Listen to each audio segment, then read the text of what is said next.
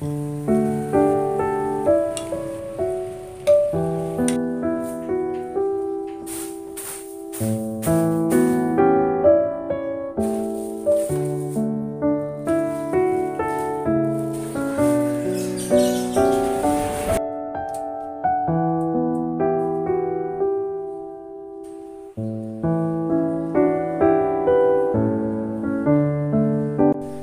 Assalamualaikum warahmatullahi wabarakatuh. Masya Allah tabarakallah.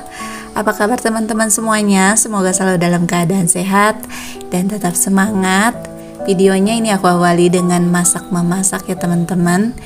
Ini aku mau masak hmm, capcay seadanya aja. Untuk sayurannya cuman wortel aja sama pakcoy gitu. Terus ditambah baso ini aku masaknya udah siang tapi untuk prepare masakannya tuh udah dari jam 4 subuh. Dan untuk udang juga aku turunin waktu semalam tuh di jam 4 subuh. Nah ini aku masak tuh di jam 6 pagi karena hari ini kakak nggak sekolah badannya tuh panas dan kebetulan di sekolah tuh teman-temannya juga lagi pada sakit gitu teman-teman makanya hari ini kakak nggak sekolah jadi ini aku masaknya agak santai gitu. Sekarang tuh jadi musim sakit lagi ya teman-teman e, kebanyakan sih pada sakit tenggorokan lagi sama batuk pilek dan panas juga aku juga agak ketakutan sih takut sakit lagi karena kalau misalnya ibu rumah tangga sakit itu udah semua kerjaan tuh terbengkalai apalagi kerjaan rumah. Tapi mudah-mudahan aku dan keluarga aku dan teman-teman dan mam semua juga keluarganya sehat selalu ya. Amin. Nah ini sekarang aku lagi goreng dulu untuk udangnya. Aku tuh lebih sering masak udang dibandingkan ikan ya teman-teman. Karena seperti yang teman-teman tahu kalau keluarga aku tuh lebih seneng uh, apa ya kurang suka gitu maksudnya yang uh, amis-amis. Kecuali pas suami ikan tuh dia seneng banget Nah ini aku biar cepet masaknya aku e, mau masak capcaynya di tungku yang sebelahnya lagi. Ini aku tumis bawang putih. Tadi ini aku pakai tiga siung bawang putih dan aku mau masak capcaynya tuh pakai bumbu yang aku beli kemarin di frozen food itu teman-teman. Dan e, ini aku masukin untuk wortelnya. Sayurannya tuh cuman wortel aja sih sama pakcoy aku udah coba pakai bumbu uh, yang apa ya yang aku beli kemarin di frozen food itu ternyata enak kok teman-teman. Uh, lebih praktis cuman dikasih bawang putih aja. Jadi nggak perlu tambahan kayak minyak wijen terus kecap asin atau saus tiram lagi. Oke ini untuk udangnya udah mateng aku angkat dulu Nah ini kriuk-kriuk udah enak banget ini. Ini cukup untuk kita bertiga sarapan. Kalau untuk sore mah gampang lah mam. Aku mah uh, entah itu dadar telur atau goreng nugget kayak gitu. Nah ini bumbu capcay dari mama suka. Ini aku pakai setengah aja karena capcaynya juga nggak terlalu banyak.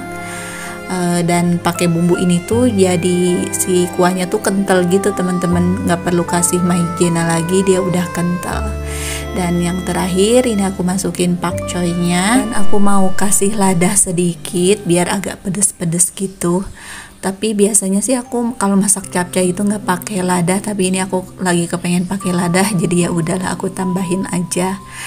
Nah ini untuk uh, capcaynya udah mateng ini tinggal aku sajiin aja. Jadi untuk uh, makan kita hari ini tuh cuman uh, kayak gini aja teman-teman tapi ini tuh udah enak banget.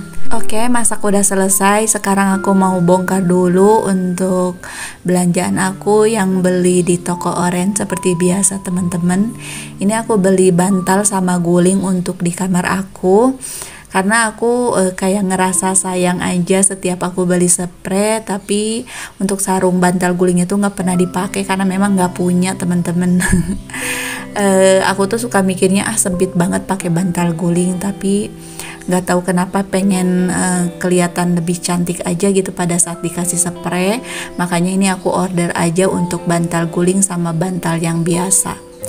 Ini aku beli 4 harganya 160 ribu. Uh, dan ini aku gratis ongkir sih teman-teman. Alhamdulillah. Setiap aku belanja di Shopee sih selalu gratis ongkir walaupun harus bayar ongkir. Tapi itu tuh suka kayak disubsidi gitu teman-teman. Jadi nggak terlalu mahal oke ini aku juga uh, beli pelan. Ini yang uh, disemprot gitu teman-teman. Uh, untuk kain lapnya tuh yang microfiber. Dan aku juga beli repilannya gitu untuk kain lapnya. Nah ini harganya 100 ribuan lebih. Sebenarnya ada yang lebih murah cuman uh, aku baca-baca reviewnya tuh katanya sih uh, dia tuh ringkih gitu gampang patah gitu teman-teman. Tapi ini untuk harga yang 100 ribu uh, lebih dikit ini alhamdulillah uh, kayak tongkatnya itu uh, kuat gitu teman-teman. Nah ini di bagian tangannya tuh ada semprotan untuk ngeluarin airnya. Nanti aku cobain uh, setelah ini aku mau beberes gitu mau nyobain mau ngepel nah ini untuk refill kain lapnya tuh aku beli lagi satu harganya 12.000 Nah ini udah aku uh, kasih wipol, aku pasang, aku cobain dulu ya mam dan ternyata enakan banget kalau misalnya uh, buat apa ya kayak ngepel-ngepel yang ringan-ringan gitu teman-teman Oke, okay, sekarang aku lanjut buka paket lagi. Ini kerudung. Ini kerudungnya murah meriah, harganya cuma 17.000. Uh, nanti aku try on deh seperti apa kerudungnya. Tapi ini untuk kakak ya teman-teman. Makanya uh, kecil nggak nutup dada gitu. Dan untuk aku ini order lagi uh, bergoyang bahan kringkel kringkel apa kringkel sih teman-teman? Ini aku beli dua harga satuannya tuh 33.000 ini adem banget dan bagus banget untuk bahannya aku udah pernah beberapa kali dulu tuh uh, apa ya beli kerudung di Shopee dan selalu kecewa. Tapi kalau ini aku udah yang bahan keringkel ini aku udah kedua kalinya beli dan alhamdulillah selalu bagus. Nah ini yang punya kakak nih harganya 17.000 lumayan ya mam buat kalau misalnya dia keluar beli jajan atau beli seblak gitulah dan ini yang untuk aku ini jumbo yang mam sampai ke pusar gitu nutup dada banget. Nah ini. Buat teman-teman yang mau samaan link pembeliannya seperti biasa aku akan simpan di deskripsi. Ini yang warna nepinya uh, aku beli dua gitu. Dan ini udah selesai aku pakai aja nih teman-teman. Sekarang aku lanjut mau ngangkatin dulu untuk karpet. Jadi tadi pagi tuh aku nyuci karpet sampai dua. Lagi rajin cuman gak aku record karena nyuci karpet itu yang pastinya rempong banget.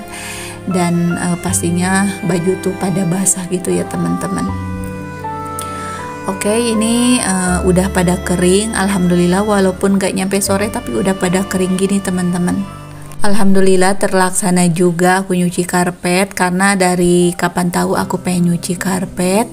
Sebenarnya karpetnya tuh nggak yang kotor gimana gitu teman-teman. Cuman uh, banyak uh, bekas noda es krim gitu uh, bekas keponakan-keponakan aku waktu kemarin nginap ya mam.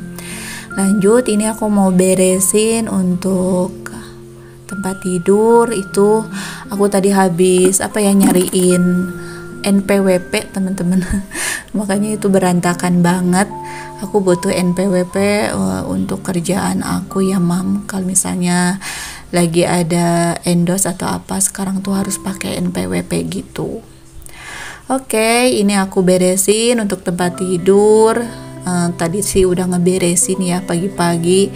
Cuman karena itu tadi bekas tidur siang jadinya berantakan lagi ini aku beberes sore kayak gini besok pagi udah nggak terlalu capek banget sih mam. Lebih santai gitu. Tapi kalau uh, untuk bangun mah tetap aja aku bangunnya pasti lebih awal apalagi kalau misalnya anak masuk sekolah. Hari Sabtu sama Minggu juga sih aku mah tetap mama uh, bangunnya tuh lebih awal gitu Oke, ini udah selesai, udah rapi area tempat tidur. Ini aku mau rapihin dulu untuk bantalnya. Belum aku buka nanti aja pas nanti aku mau ganti spray karena ini baru aja gitu ya, Mam. Belum lama aku ganti spray.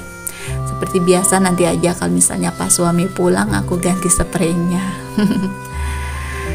Oke, ini uh, lanjut. Ini aku mau buang sampah ini juga sekalian aku mau buang uh, pupnya si gemoy. Sekarang si gemoy alhamdulillah mam udah lebih baik.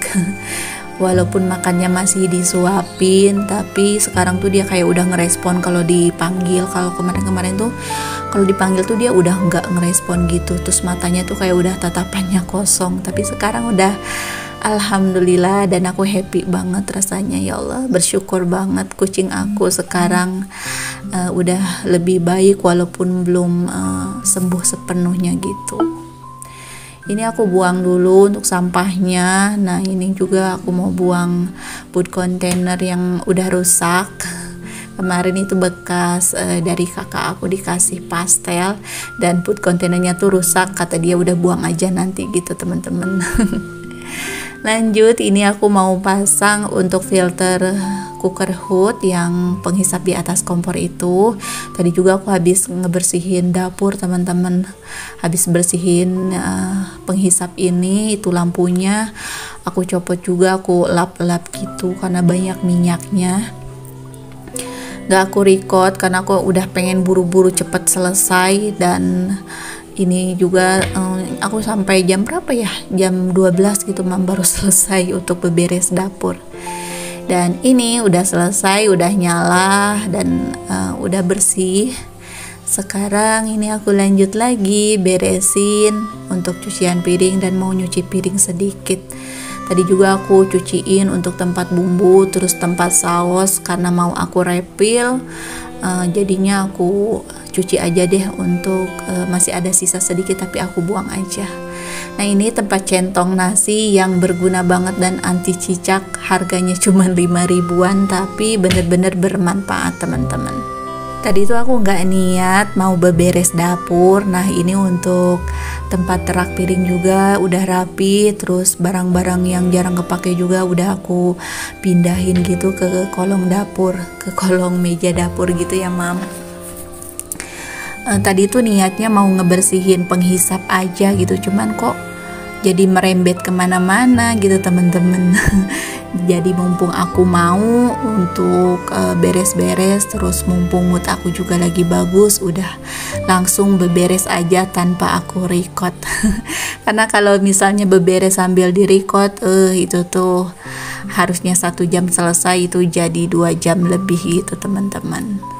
Nah ini aku juga lap-lap untuk kulkas aku karena udah lama juga nih nggak dilap-lap. Pengen aku beliin yang untuk pegangannya gitu ya mam sarungnya gitu biar nggak kotor. Tapi belum kebeli-beli juga nih mam Nah ini udah selesai, udah rapi untuk area dapur. Tinggal aku nyapu aja. Tapi ini aku nih nyuci piring sedikit nih mam. Biar dapurnya tuh bener-bener rapi gitu. Dan Alhamdulillah sekarang dapurnya udah nggak berminyak lagi. Dan untuk penghisap juga udah bersih Udah enakan banget gitu memandangnya. Nah ini udah rapi untuk area dapur. Dan sekarang ini aku lanjut ngepel pakai pelan yang baru nih mam tadi juga aku udah nyapu ya cuman gak aku record aja.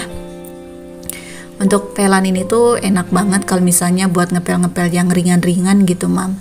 Tapi kalau misalnya mau ngepel yang benar-benar besi terus di area pojok-pojok kayak gitu ya lebih enak sih pakai uh, pelan yang biasa aja.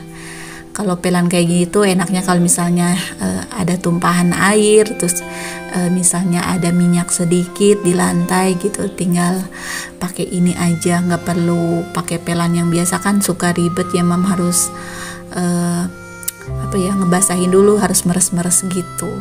Dan ini dia mam nih bontot aku lagi tidur badannya udah kurus banget tulangnya tuh udah ya Allah udah kelihatan banget lah. Uh, aku udah pengen buru-buru dia sehat terus nanti divaksin gitu Oke, videonya sampai di sini aja dan uh, rumah aku juga nih udah rapi. Terima kasih yang sudah menonton. Assalamualaikum.